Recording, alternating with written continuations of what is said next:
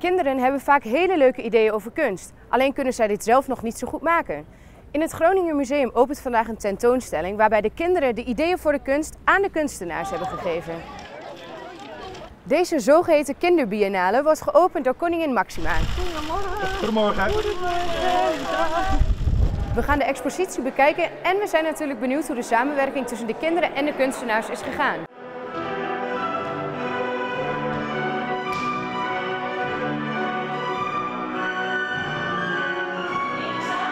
Wat was precies het idee hierachter?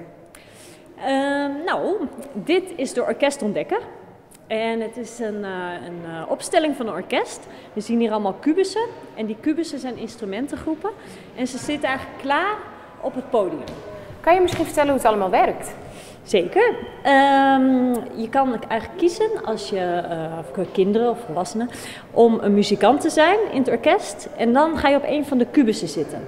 En door op de kubus te gaan zitten, uh, activeer je de instrumentengroep die in die kubus zit. Dus ze hebben allemaal verschillende instrumenten in zich. Uh, georganiseerd onder uh, koperblazers, houtblazers. En dus als je daar gaat zitten, dan activeer je het en je hoort het ook direct achter je. Of je neemt de plek van de dirigent in. En dan kan je of je broertjes, zusjes, ouders dirigeren en dan zeg je wie waar moet gaan zitten. Of je um, tikt de instrumenten aan op de lessenaar, op de dirigentenplek en uh, daarmee kan je ook het hele orkest tot leven roepen.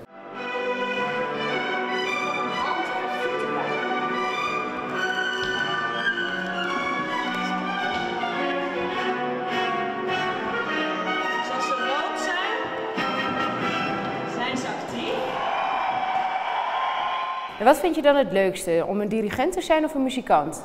Mm, De muzikant denk ik wel. Mm, Het is gewoon leuk om je eigen creatie te maken met zelf ook bewegen en zo. Oké. Speel jij zelf ook een instrument? Nee. Nee, dus dit is voor jou eigenlijk de uitkomst dat je, dat je wel kan spelen. Ja, het is best wel makkelijk eigenlijk, maar het is wel leuk. En vind je het dan ook cool? Want je hangt nu wel in het Groninger Museum.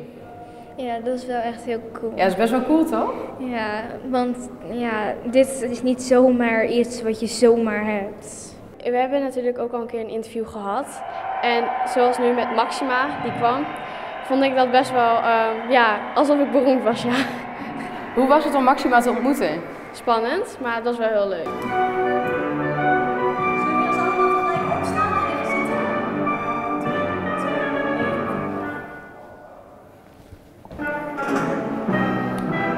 De tentoonstelling onder andere bedacht. Eh Ja. Kunt u daar wat over vertellen? Ja, eh, dit concept van de kinderbiennale is ontstaan in, eh, in, in Singapore, de National Gallery of Singapore.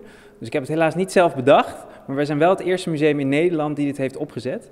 En nou, het heet de Kinderbiennale en het is een tweejaarlijkse groot festivalachtige tentoonstelling vol met interactieve kunst. Maxima kwam de tentoonstelling natuurlijk openen. Ja, Hoe was dat? ja oh, spannend. En eh, ze liep de trap af en toen dacht ik, oh, wat is het toch knap, want ik had haar eigenlijk nog nooit eh, zo, eh, zo gezien. Het is echt zo'n kroon op, op je werk. Maar ik vond het stiekem vond ik het wel het leukst voor de kinderen. Die waren echt helemaal door de dolle heen toen we vertelden dat ze kwam. En ze hadden ook de openingsdans, hadden ze ook zelf geoefend voor haar. Dus ja, dus vooral voor de kinderen vond ik het heel erg leuk. En voor mezelf, ja, ja, bijzonder, heel bijzonder dat ze hier was. Ben je trots? Ontzettend trots, ja, echt ontzettend trots. Is het ook nog educatief voor de kinderen? Ja, eh, eh, we zeggen eigenlijk learning through play. Dus eh, die, die kunstwerken moeten uitnodigen, triggeren tot een soort van speelsheid. En door middel van spelen en ontdekken leren ze ook wat meteen over die kunstwerken. Dus het zit in de kunstwerken zelf. En een andere kant van het educatieve is dus dat we een half jaar lang hebben we de kinderen meegenomen in het bouwen van een tentoonstelling. Dus we hebben een brainstorm gehad met marketing en pers en met de winkel, wat ze moeten verkopen en hoe moet een openingsfeest. Dus we hebben een half jaar lang geprobeerd om hun rugzakjes te vullen. En eh, ja, dit is het geworden. Ja, mooi.